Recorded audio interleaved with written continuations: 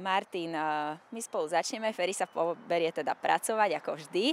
Áno, máme, tu, máme tu paradajky, je teda naozaj sezóna sadenia v záhradách, toto je priesada. Áno. Ako ju zasadiť správne? No, František sa do toho pustil. Keďže to je zdravá priesada, nemusí ju dávať nejako pod uhlom alebo stáčať ten koren spodný, lebo častým problémom je, a taká aj chyba zároveň, že začíname s výsevom veľmi skoro. Častokrát už v januári a počasie nám potom nepraje na začiatku sezóny, takže sme nútení ju ako keby zasadiť neskôr, posúvame ten čas a tá priesada sa nám potom vyťahne. Bežne máme priesady, raz také vysoké, vyťahnuté, nie sú takéto silné na tej báze, a nie sú takto, takéto zdravé, lebo vravím, ten skorý výsev znamená, že dlho ju máme za oknom. Toto je priesada, e, ktorá bola e, z marcového výsevu. Do tohto štádia, od bodu výsevu až do tejto rastlinky, sa dostaneme cca zhruba za dva mesiace. Takže môžeme si to pokojne načasovať aj tej druhej polovici marca. Je dobre začať niekde na prelome februára marca, ale ten marec je úplne spokojne, na ten výsev dobrý. Preto to Ferry teraz takto rýchlo zasadil, je silná, má veľmi e, takú pevnú bázu, a dokonca už začne mať aj plody.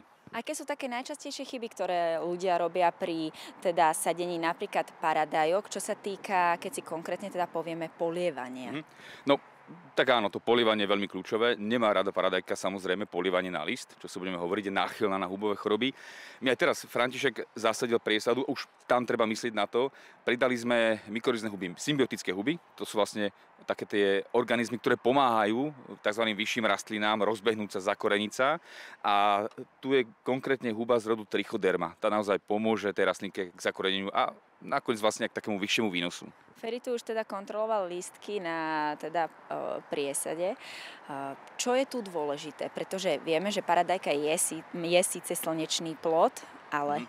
Áno, tak je to teplomilná zelenina, čo si budeme hovoriť, ale v tých letách, ktoré máme teraz posledné roky, tiež nie je dobre, keď je úplne na plnom výpeku, hlavne v tých južných regiónoch. Má rada také ľahké pritenenie, takže aj to odstranenie lístkov my ich nechávame a potom neskôr začneme od spodu presvetľovať, ale nechávame ich teda nezalievame na ten list, ako som spomínal. A teraz je dôležité to, čo robí Ferry v tomto čase. Keď už máme tie paradajky teda vysadené a už sa rozrástli, treba odštipovať pazušné takéto zálistky.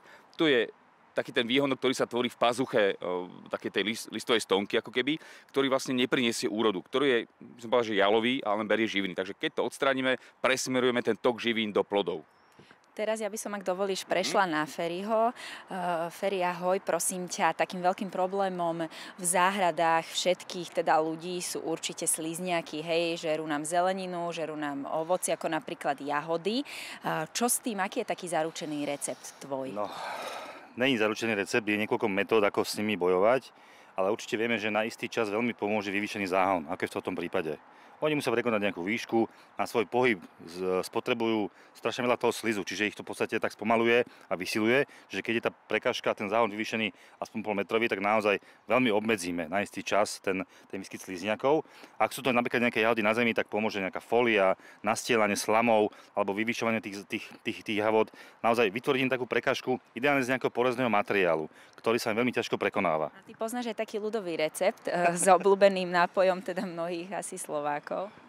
No sú také pasce, pivné pasce, ktoré naozaj tie slizňaky nalákajú, naakumulujú ich a potom ich môžeme odstrániť. Je to dobré robiť, ale vyžaduje to v podstate takú dennú prácu. Ráno si to, tú pastu pripraviť a potom počas dňa alebo na večeru nejako pozbierať na viacerých miestach. Áno, eliminujú sa, ale v podstate ten proces je taký neustály. Čiže ak máme čas sa tomu venovať, tak e, si veľmi pomôžeme. Ale ak to robíme raz za čas, tak naozaj buď vyvýšené záhony alebo nejaký nasielací materiál, eventuálne nejaké iné mechanické prekážky, ktoré tie slizňaky neprekonajú.